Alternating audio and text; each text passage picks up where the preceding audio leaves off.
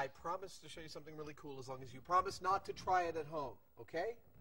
Okay. Now, everyone wants to know why my voice sounds higher when I inhale helium. The simple fact is, is that helium is six times less dense than air, which means sound waves travel through it much faster, which makes my voice sound much higher. Now, the same effect can be achieved in reverse if I inhale something like sulfur hexafluoride, which is six times denser than air. I inhale some of that. And my voice gets really low, although somehow I'm still funny. It's scientific.